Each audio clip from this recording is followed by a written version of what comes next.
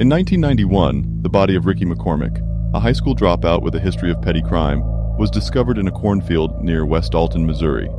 McCormick had been lying in the field for three days before he was found, and an autopsy revealed no obvious cause of death or signs of struggle.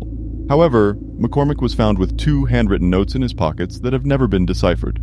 Despite extensive examination by the FBI's Cryptanalysis and Racketeering Records Unit, CRRU, the notes remain a mystery.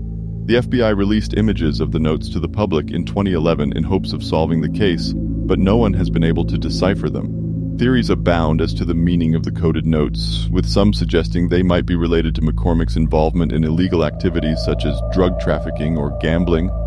Others believe the notes were simply a personal system of notation used by McCormick.